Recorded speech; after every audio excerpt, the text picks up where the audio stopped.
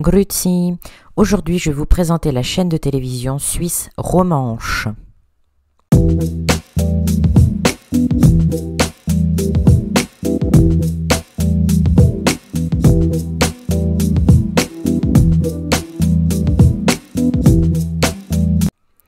Les premières émissions de télévision en romanche commencent le 17 février 1963 avec le Hilbakuntort pour célébrer le 25e anniversaire du vote faisant du romanche la quatrième langue nationale suisse. À partir de 1972, TVDRS accorde une large place aux émissions en romanche.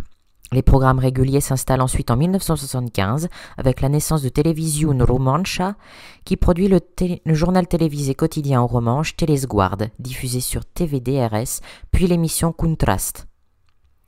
Dans la ligne directe de la réorganisation de la SSR, Radio Romanche devient une unité d'entreprise autonome en 1991, rejointe en 1995 par la Television Romancha qui ne dépend plus de la Schweizer Fernsehen.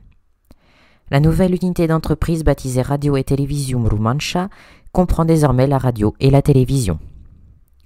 Les émissions les plus regardées sont Telesguard, Contrast et Minisguard. Le logo représente RTR blanc sur fond rouge. Je vous mets dans la description le lien de Play RTR et je vous souhaite un bon visionnage.